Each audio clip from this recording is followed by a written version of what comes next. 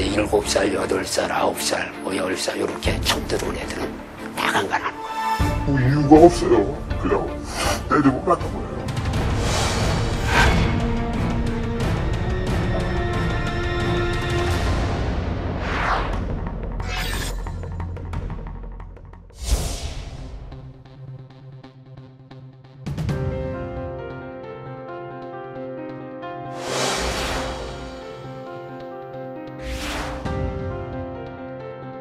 거리의 천사들을 구호해서 불쌍한 이들에게 새로운 삶의 터전을 마련해주고 있는데 정부에서는 앞으로 전국에 걸쳐 불황아와 거린들의 보호 대책을 서두르고 있습니다.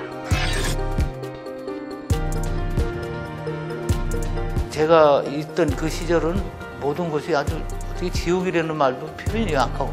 뭐 일량이 적고 동장이 느리다면서 이제 뭐 머리통도 치고 조인트도 까고 쓰러져서 울고 있는데 또 걷어차 가지고 저 하던 일을 계속 시키고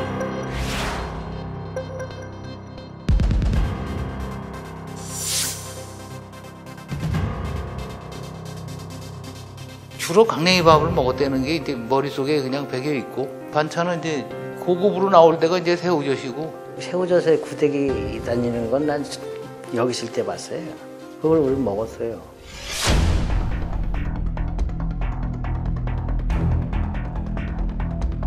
후염차 나 가다가 죽은 애들 내가 건져다가 강변에 갖다 놓고 딸은 우리 친구가 잊을 게 있었어요.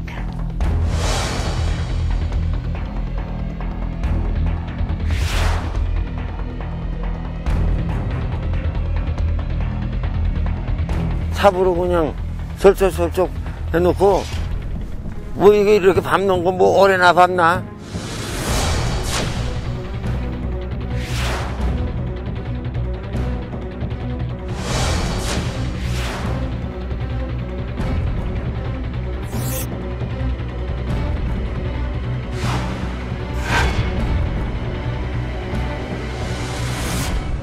여기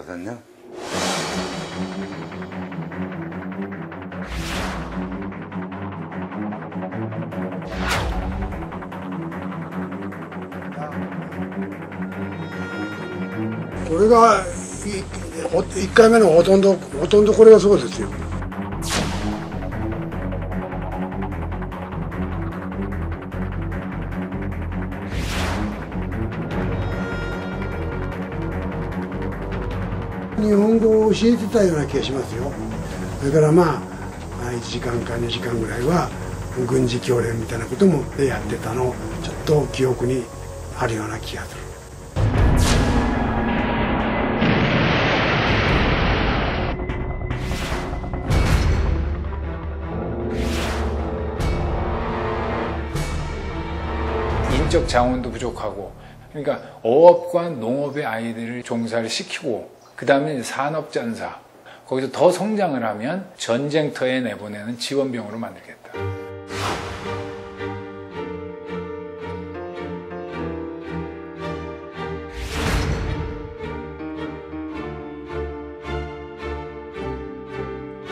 장애인 복지단체 협의회 김학묵 회장의 개막 선언이 있겠습니다.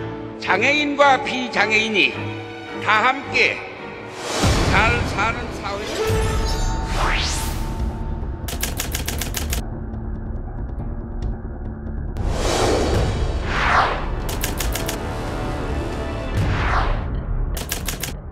사회사업 협회를 주도하는 사람들은 경기도 사업가 관료들이죠. 네, 굉장히 큰 사업으로 야심차게 출범을 한 사업이었죠.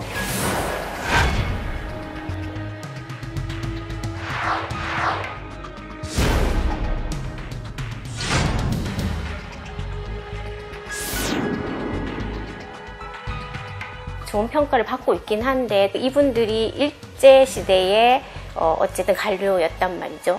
정감하고는 어두운 이면을 봤을 가능성 낭이 없다라는 거죠. 기록.